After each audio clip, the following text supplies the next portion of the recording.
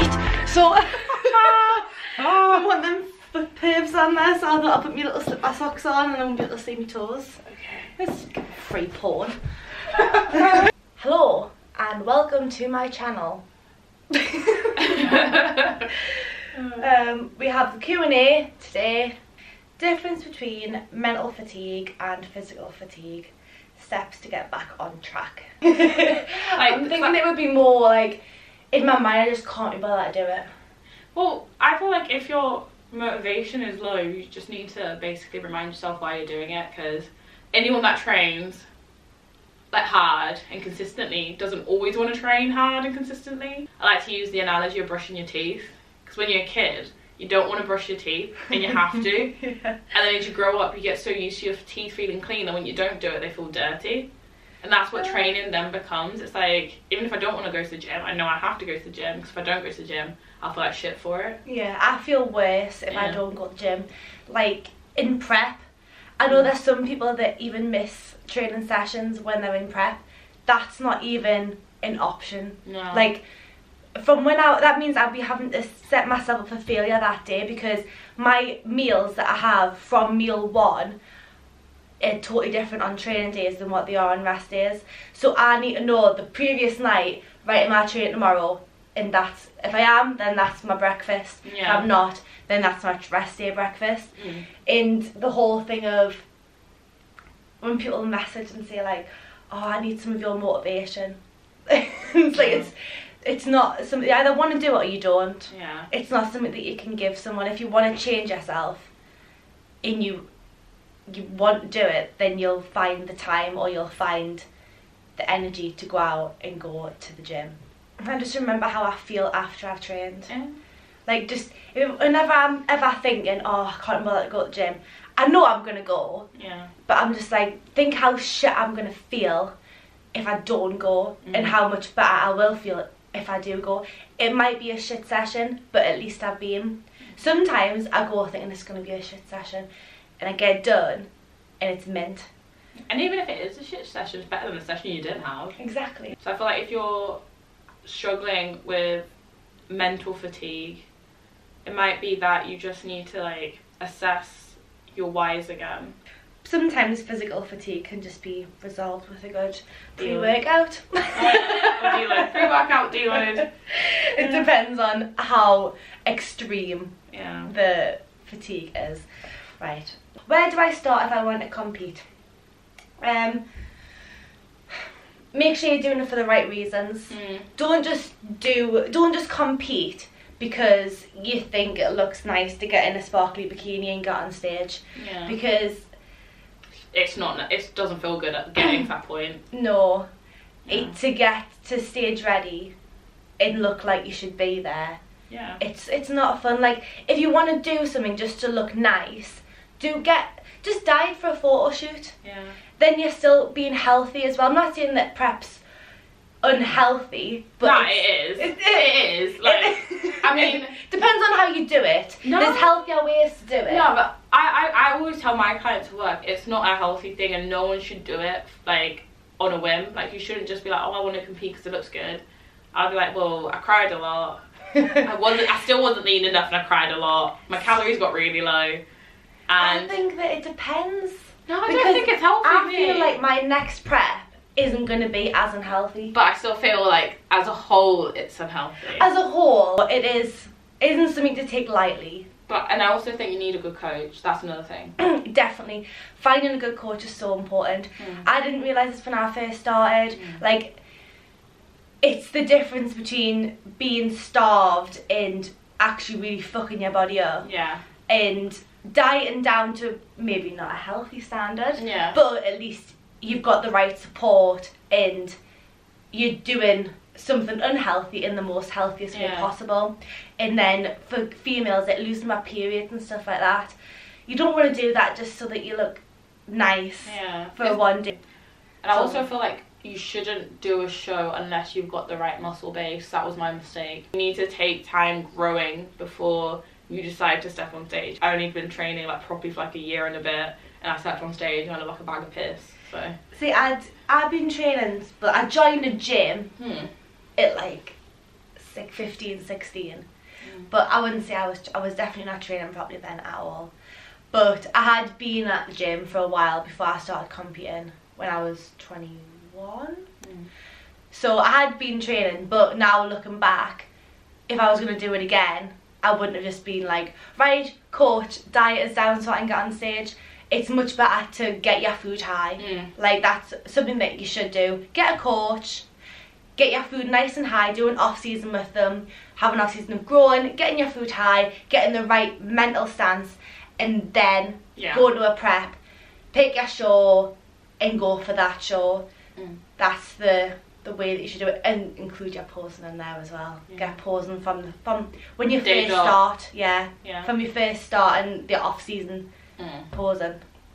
Next competitive goal, mine is next year. I would like to still do PCA, get my PCA Pro card, compete in a PCA Pro show, and then go for my Pro card at IFBB. But I would like to do some more amateur stuff before trying to get my Pro card. Mm. As much as some people would prefer just to go straight for the pro card. I want to just enjoy it as an amateur first before becoming a pro and only being able to compete with pros because I don't know. Like I feel like next year I just want to feel happy with the package I present.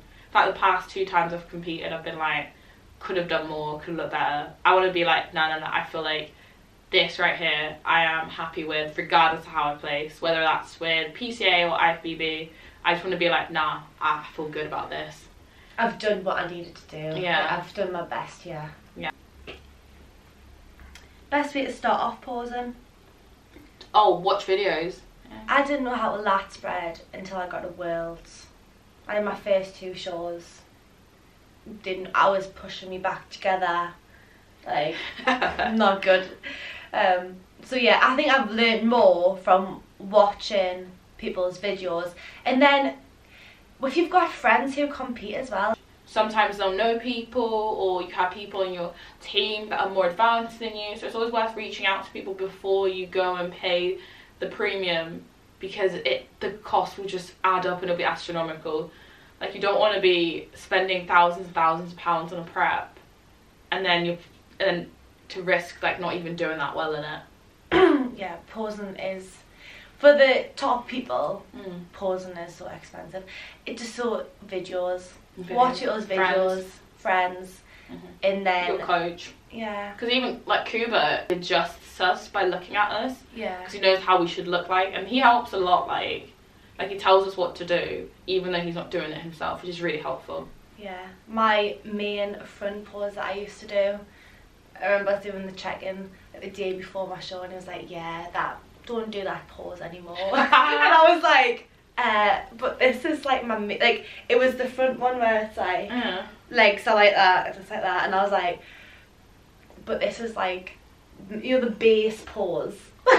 Like that's where you would start. That's where you start your corner turns from. That's That's so where that it's not even to do that in comparisons uh, no, never do that pause. but don't do it. And I'm like, okay Mm. thanks great. So then the pause that I went to was the one that I do all the time now, which is like the one for one like that. The only issue with that is the badge has to go on this side of your leg. So when you're doing a pose on, I I just try and show the pose. So the pose that I didn't have to do was the one where it's like, I can't even see myself. Getting it off. So I do it slower. yeah That one. yeah That one was like, don't ever do that anymore. oh, oh. So I had to change it to that one. yeah But the badge goes there. I don't know you're allowed to do that as a front one for the Because I put it here. yeah And they were like, no, you need to put it over here. So I put it there. So then when you're at the front, and they're like, they can't see put you. your badges to the front. And I'm like... But then when you turn, it yeah. messes your whole pose up, so then you look like shit. Motivation during lockdown. lol LOL um, Do you know what? Like, I, I feel like this is just shit. Like, if I'm being honest, like, motivation during lockdown. I feel like hopefully there will be some leeway and it actually is four weeks.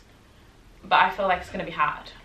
Yeah, they definitely didn't start the first quarantine by saying we're going to be in lockdown for like six months, did Yeah. they?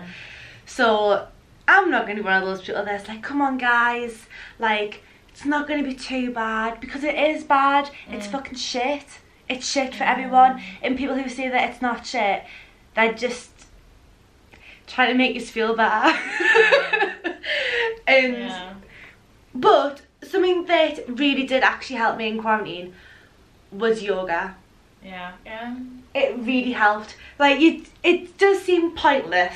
No, it's good for mobility. It's not only that, but like, so some of them are just ten minutes long, and it just gives you time just to like center yourself, and it's like self love kind of things. It does not take long. Mm. You feel better, like you like stretch yourself out, especially quarantine, just sitting around all day. Like it's just nice just to yoga. Maybe so maybe just try to do something that you would normally do. You wouldn't have the time to normally do. Like I said to all my clients, think about all the all the time things that you've got to worry about when you can't train or you can't eat your meals. Like now you're not gonna have any of that to worry about. So if we do go into lockdown for four weeks, then you've got no excuse not to stick to your training plan or stick to your diet plan because you're not gonna have anything else to be doing. So good time to start a qualification as well. yeah, I, I mean, I say that because I was like, oh yeah, I'm gonna get a qualification. Did I? No, no, I didn't. But anyone, if they would like to, it's a good time to Yeah. start a qualification, even if it's online or a book Where you can read up on stuff to even better your work. just trying to scrape the barrel barrel for things like Yeah. positivity. Yeah. Let's just go to the next one. Wait until the next Boris announcement. That's the motivation. Yeah, wait for the next Wednesday. announcement. That's what. We'll, that's the motivation we need. No, but I don't even know when this video's going out. Whatever happened happened. Yeah, we're speaking from the past right Yeah. now. So we, we might be upset or we might be really happy. I predict that they'll keep the gyms open. I don't know. But I'm just gonna. I'm just gonna. I'm just gonna be like, There's so much stuff though. prepare for the worst and hope for the best. Yeah. Do you ever get bored eating the same things? No. Not when you're top chefs like uh, me and Nadine. Yeah. If you make your food right, then you do not get bored. When I get bored, I think that's when off-plan meals should be a thing. Like if you're not dieting. See, I but the all my six meals are different. Yeah. So it's not like I'm having the same meal six times a day. Every one of my meals is different, and I make all of them mint. Yeah. And I look back at before meal plan days and I'm thinking, all that time I wasted thinking, oh, what am I going to have for tea tonight? Mm. Oh, what, what am I going to have when I get home? That's not even a thought now. It's like, Mm. oh, maybe which meal should I have? Meal two or meal three? Yeah, but apart from that, I know what I'm having. Much less waste of food as well. Big time. Because yeah. I used to buy stuff in and then be like, oh, I forgot I had that, or like, oh, I'll have that later and never have it. Now I'm like, right, I've got to have this. I know I'm having lettuce on this day. I know I'm having chicken on this day, or like, that's how long it's going to last us. And I barely took anything away. Mm. So, I mean, I might took away extra bits of meat if I get like a steak or something that's not been weighed out exactly. Mm. but apart from that, Yeah. I don't. Yeah, I think it's, we're just too bodybuildery that we've adapted to this life way of living, and like for us, this is normal. I'm lazy. Yeah. Have you had a Brazilian butt lift? no. we just go through these really quickly. On to the next. I have had no plastic surgery whatsoever. How do you manage your mindset um, when you gain weight from bulking? Um, it's part of the process. Yeah. You just got to realise it's part of the process, and if you want to grow, you've got to do what's necessary. I, I feel like a lot of girls are like quote unquote scared of getting fat, and I was like, but then you have to sacrifice being lean. Because then you will you will get better at body composition. The Mhm. more that you bulk and cut, the better your body's gonna end up looking. Look back, like when we were looking back at my check-ins, Mm. the same weight or even less weight than what I was in December time. Looks worse. looks so much worse than what I do I do right now. But also when you gain weight, just cover up. Like Mm. that's the easiest thing to do. Just get some Yeah. big. T- I have all the all my tops in there. Yeah. X X X Yeah. L, Triple X. triple X. Yeah. And then you, then you still feel small in your clothes. Mum. Are you single? Are you single? No. I'm a bit single. A bit. I'm always single. No, Depends who's just, asking. Just a bit. Just not not not the whole way. Just just a bit. I could have a boyfriend if I wanted to. Oh, Just don't want to, right? Okay. that of choosing this life. I've chosen this life. I love it. And oh, that sounds sarcastic, but I, I'm being. I do actually like this. This is nice. I get to do what I want when you want. when I want, Who you with want. who I want. Exactly. Exactly. Favorite body part to train? Shoulders. Even though. Shoulders. Yeah, I hate legs. Fucking hate. Like honestly, when I do like when, when we we train legs, the anxiety on the way, and I'm gonna fucking die. I'm gonna fucking die. I love Fucking it. die. I don't know what mine is. See, I love, I love training everything. At the moment, well, I say at the moment, like it's temporary. My legs buggered, so that's like a a thing that annoys us during leg day. But I really enjoy training legs. Mm, I love training back, but then I tend to get like a, oh yeah, something in my arm, in my back bit that niggles sometimes, so that pisses us off. So, and then shoulders, I enjoy. I enjoy everything. Would you pick gym over a boyfriend? These three questions are all from the same person. Would you pick gym over a boyfriend? Do you know what? Like, no. Why? Why'd you have to? Why can't you have both? Why can't you have a guy that understands that you want to train? I'd rather have both. I would. Oh, would I, would I pick one over the other? I don't know, because I hate being single. me. I'm a lonely single person. I'm a type of person I go hug my mum if I've not got a boyfriend. I go to my grandma's sometimes. Yeah. Like before this whole quarantine Shazam thing.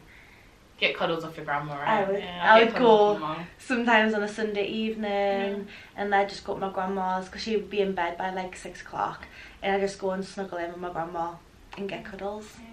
But I can't do that now. See, this is what quarantine is making me miss out on. Grandma cuddles. Yeah. I haven't had a cuddle from my mum in like a year and a half.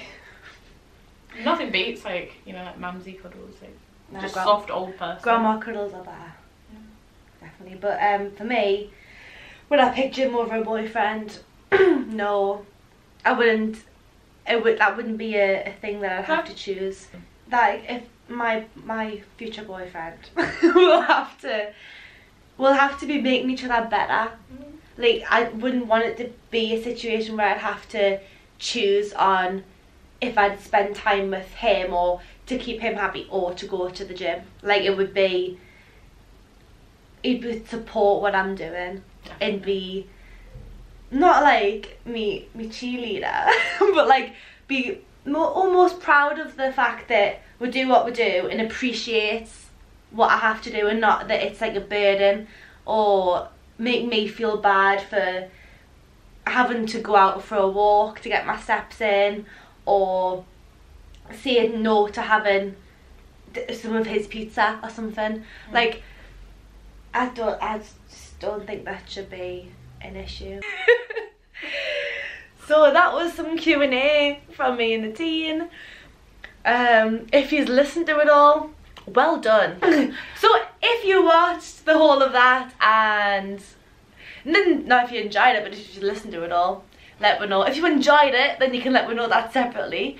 Um, Subscribe. subscribe and like and Share it. share it and comment and All that shit. all of the stuff and I can now do a swipe up on my Instagram so I'll be doing that too um so yeah Bye. bye